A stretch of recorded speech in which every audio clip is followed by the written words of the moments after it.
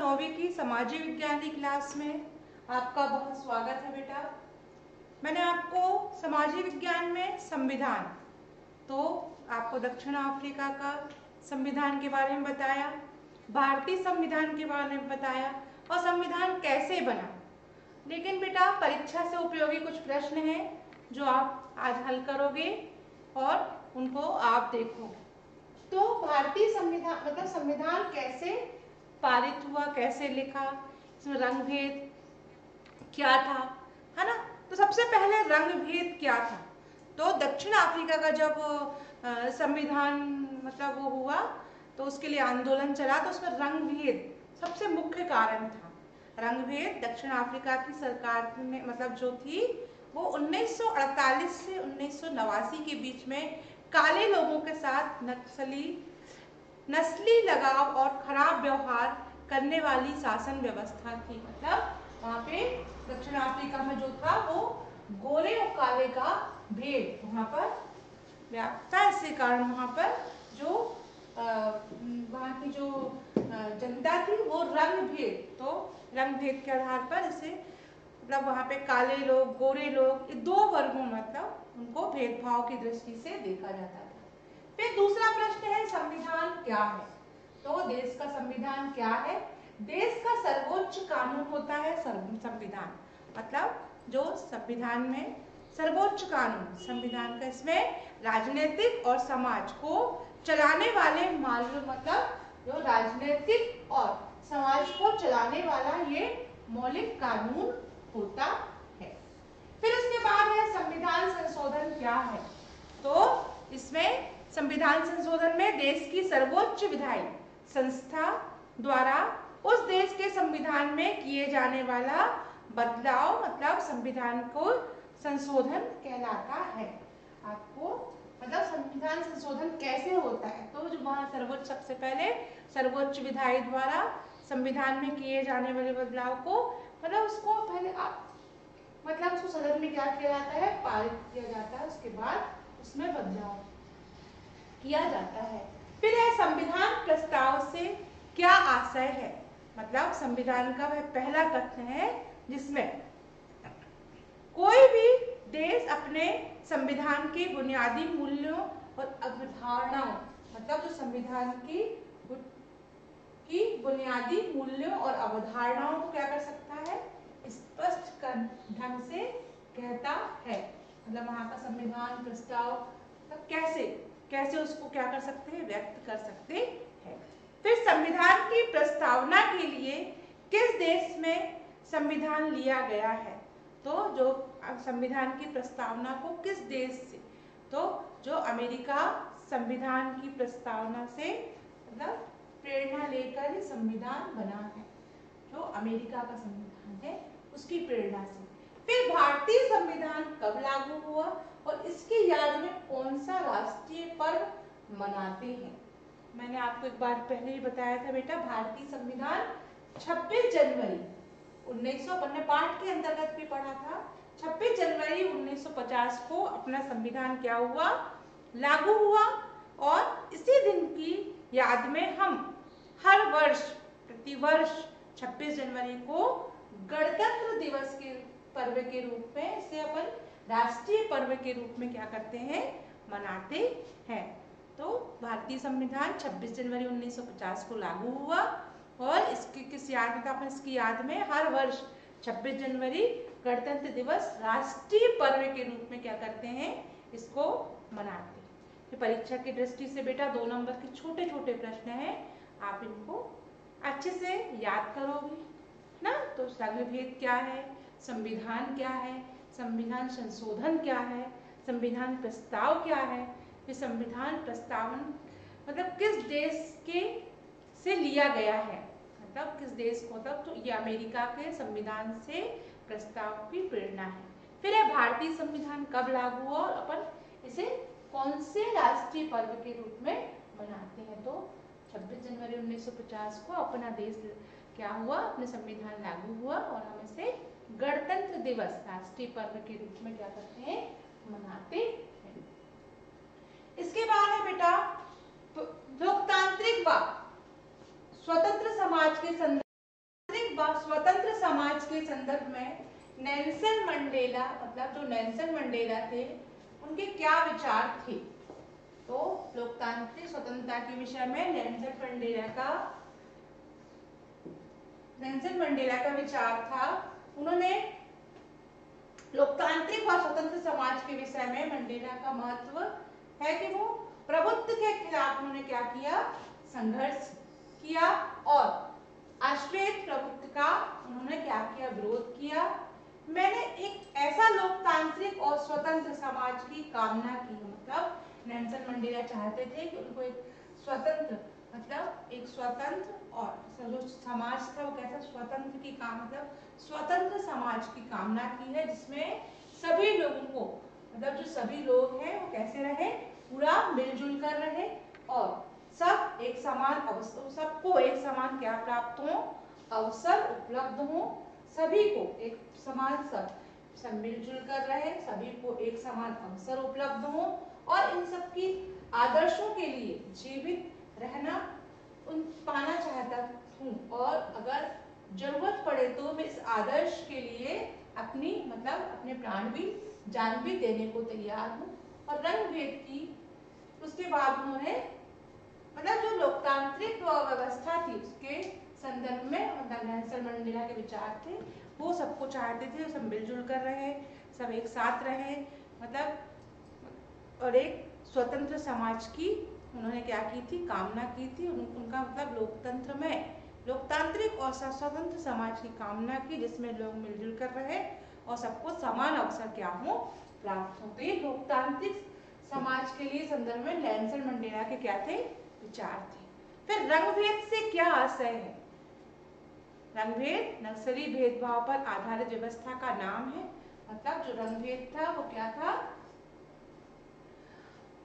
आधारित व्यवस्थाओं का मतलब जो नस्ली नस्ली भेदभाव थे, उसके दक्षिण अफ्रीका में मतलब जो था, वहाँ पर विशेष तौर पर चलाई गई। दक्षिण अफ्रीका का ये व्यवस्था पूरे यूरोप को गोरे लोगों ने ला दी थी। मतलब रंग भेद की जो व्यवस्था थी, वहाँ पे दक्षिण अफ्रीका ने किसने लाई?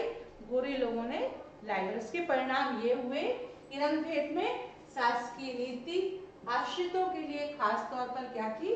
दमनकारी थी। पहला परिणाम ये हुआ, उन्होंने गो बस्ती मतलब जो गोरे लोग थे, उन्होंने गोरों की बस्ती में मतलब जो गोरे लोग थे, गोरे की बस्ती में में रहने, बसने की इजाज़त नहीं थी। उन्हें परमिट होने पर ही वहाँ जाकर काम कर सकते थे। मतलब जो वहाँ पे गोरे लोगों की बस्ती में जो रंग काले लोग वहाँ जाकर फिर रेल, वहाँ पर रेलगाड़ी, बस, टैक्सी, होटल, अस्पताल, सब जो चीज़ें थी, वहाँ पर सिर्फ़ गोरे लोगों के लिए थी। सार्वजनिक शौचालय तक गोरे और कालों के लिए वहाँ पर एकदम अलग अलग इंतज़ाम थे और पृथककरण और अलग अलग करने की व्यवस्था को कहा जाता है। मतलब ये दक्षिण अफ्रीका में गोरे लोगों की मतलब जो गोरे लोगों ने जो किया, उसके परिणाम थे। फिर काले लोगों को, गोरे लोगों के लिए आरक्षित जगह में क्यों उनके गिरजाघर तक भी नहीं जा सकते थे? मतलब जो काले लोग थे, वो गोरे लोग के मतलब जगह पर और आरक्षित जगहों पर और गिरजा तक घर भी नहीं जा सकते थे। और आश्रितों को संगठन और उनके भेदभाव पूर्ण पर विरोध करने का भी अधिकार नहीं थे। मतलब जो वहाँ पर आश्रित थे, उनको संगठन और भेदभावपूर्ण व्यवहार करने पर विरोध करने का भी अधिकार नहीं था। फिर है, संविधान का क्या महत्व है? मतलब संविधान का क्या महत्व है? तो पहले संविधान का महत्व किसी देश का संविधान, उस राष्ट्र की राजनीति मतलब जो संविधान है, उस देश की राजनीति व्यवस्था, बुनियादी ढांचे पर क्या होती है? क्या करती है? निर्धारित करती है। मतलब संविधान किसी देश की बुनियादी व्यवस्था और निर्धारित ढांचे को निर्धारित करती है और संविधान में शासन के सभी, उसमें क्या क्या होता है? व्यवस्थापिका भी होती है बेटा कार्यपालिका भी होती है और न्यायपालिका भी होती है। इनकी शक्तियों का, दायित्व का उल्लेख होता है संविधान में। काय में? संविधान में। संविधान शासन की राग मतलब नागरिकों के मध्य संबंधों के बीच विनियमित करता है। संविधान देश में आदर्शों को भी प्रकट करता है। संविधान जनता की सामाजिक राज संविधान जनता की सामाजिक, राजनीतिक और आर्थिक और प्राकृतिक आस्था व आकांक्षाओं पर क्या होते हैं? आधारित होते हैं। फिर उसके बाद है बेटा कि संविधान सभा का परिचय दीजिए। मतलब किसी देश का संविधान बनाने का कार्य सौंपा जाए तो उसे संविधान सभा के नाम से क्या किया जाता है? जाना जाता है। भारत का संविधान संविधान सभा द्वारा निर्मित किया गया संविधान गठन ब्रिटिश शासन और भारतीय स्वतंत्रता आंदोलन के नेतृत्व और कार्य मतलब जो कार्य नेतृत्वकर्ताओं के माध्यम से परस्पर सहमति मतलब आपसी तालमेल से संविधान की बैठक, पहली बैठक कब हुई? 9 दिसंबर को हुई, उन्नीस को। उसके अस्थायी जो डॉक्टर सच्चिदानंद सिन्हा थे, वो क्या थे? उसके अस्थाई अध्यक्ष चुने गए। प्रथम बैठक में फिर द्वितीय बैठक हुई संविधान सभा की दूसरी बैठक ग्यारह दशमलव सॉरी ग्यारह दिसंबर उन्नीस छियालीस को हुई और जिसमें डॉक्टर राजेंद्र प्रसाद थे जो वो स्थायी सदस्य चुने गए मतलब उसके स्थायी अध्यक्ष चुने गए और संविधान सभा की दो वर्ष ग्यारह माह और अठारह दिन की कार्य अवधि थी। मतलब जो संविधान सभा की जो अवधि थी वो कितनी थी? दो वर्ष। ग्यारह माह छोटा सा ऑब्जेक्टिव प्रश्न आता है बेटा ये। और अठारह दिन की कार्य अवधि में कुल ग्यारह अधिवेशन में एक सौ सोलह, एक सौ एक सौ छियासठ बैठक हुई। तो ये हो गया संविधान का परिचय। फिर है, लोकतंत्र ने हमें संविधान की आवश्यकता क्यों है? प्रमुख कारण स्पष्ट कीजिए मतलब जो लोकतंत्र है उसका है ना तो संविधान कैसा होना चाहिए वहाँ पर लिखित नियमों की इस प्रकार से एक किताब है। संविधान लिखित नियमों की एक किताब होती है। किसी राष्ट्र में रहने पर नागरिक समूह रूप मानते हैं। संविधान सर्वोच्च कानून है। किसी क्षेत्र में रहने वाले नागरिक मतलब जो किसी भी क्षेत्र में नागरिक रहते हैं, उनके मध्य आपसी संबंध होते हैं। साथ साथ सरकार के बीच में भी संबंध तय होता है। संविधान की भूमिका निम्नलिखित होती है। मतलब जो लोकतंत्र संविधान कैसा होता है, लिखित। वहाँ पे लिखित किताब होती है, किताब है, इसे राष्ट्र में रहने वाले सभी नागरिकों और समूहों के रूप में इसे मानते हैं। संविधान का सर्वोच्च कानून है। कौन? संविधान। किसी भी क्षेत्र में रहने वाले नागरिकों को भी आपसी संबंध होते हैं और साथ साथ सरकार के बीच में उनमें क्या करना पड़ता है? संबंध तय होते हैं और संबंध इनकी निम्नलिखित बातें हैं। तो संविधान सभा में रह, साथ रहे विभिन्न तरह के लोगों के बीच ज़रूरी है भरोसा, सहयोग और विकास। संविधान स्पष्ट करता है, सरकार का गठन कैसे होगा? मतलब किस फैसले के लेने का अधिकार, कैसे फैसले लेने का अधिकार होगा? संविधान सरकार के अधिकारों की सीमा तय करता है। हमें बताता है कि नागरिकों को क्या अधिकार है। संविधान अच्छे समाज के गठन के लिए लोगों को की आकांक्षाओं को भी क्या करता है? व्यक्त करता है। तो ये संविधान में रहने के तरह तरह लोगों के बीच में, उनमें क्या होना चाहिए? आपसी सहयोग और विकसित भरोसा भी आवश्यक है। सरकार का गठन कैसे हो? इसका फैसले लेने का अधिकार संविधान सरकार के अधिकारों की सीमा भी तय करता है और हमें बताता है कि नागरिकों के क्या अधिकार हैं। और संविधान अच्छे समाज और गठन के लिए भी आकांक्षाओं को क्या करता है? व्यक्त करता है। फिर दक्षिण अफ्रीका के संबंध, संविधान की प्रमुख विशेषताएँ लिखी। मतलब जो दक्षिण अफ्रीका का संविधान था, वो वर्षों की चर्चा और बहस के बाद मतलब वहाँ वर्षों की बहस हुई, चर्चा हुई इसके बाद सम्मान संबंध मतलब वहाँ पर संविधान बना गया। अच्छा संविधान दुनिया में कभी नहीं था। मतलब अच्छा संविधान दुनिया में संविधान में नागरिकों को जितनी व्यापक अधिकार दिए गए, उतना दुनिया में किसी संविधान को नहीं दिए गए। साथ ही उन्होंने यह फैसला भी किया कि मुश्किल मामलों के समाधान की कोशिश किसी से अलग नहीं किया जाएगा सब एकजुट रहेंगे, वहाँ बुरे या दुष्ट मानकर बर्ताव किया नहीं किया जाएगा। मतलब इस बात पर सहमति बनी जिसने चाहे जो कुछ किया हो, लेकिन अब मतलब जो बुरा हो चुका है, उसके बाद अब, लेकिन अब समस्या के समाधान सबकी भागीदारी से होंगे? नेल्सन मंडेला ने अनुसार दक्षिण अफ्रीका का संविधान, इतिहास और भविष्य दोनों के बातों में एक तरह से पवित्र समझौता है। मतलब दक्षिण अफ्रीका के मतलब हम दक्षिण अफ्रीका के रूप में एक दूसरे को यह वादा करते हैं। मतलब वहाँ के लोगों, नेल्सन मंडेला ने सबको एक शपथ दिलाई कि हम एक दूसरे से यह वादा करते हैं कि हम रंगभेदी, दमनकारी इतिहास को फिर से नहीं दोहराएँगे। और इस बात पर इतना ही नहीं, अपने देश के लिए सभी लोगों द्वारा वास्तविक अर्थों साझा करने की घोषणा की और श्वेत और आश्वेत, स्त्री और पुरुष देश पूर्ण रूप से हम सभी मतलब क्या है, हम सभी एक हैं, ऐसा उन्होंने बोला।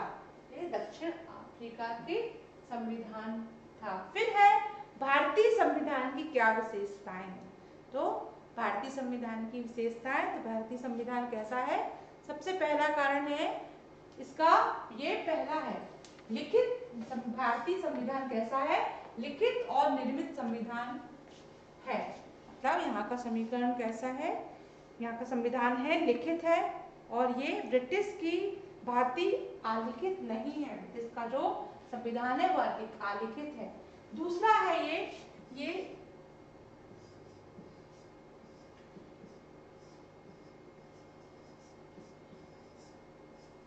फिर है ये दूसरा। दूसरा कारण है, संपूर्ण प्रभुत्व संपन्न लोकतांत्रिक गणराज्य।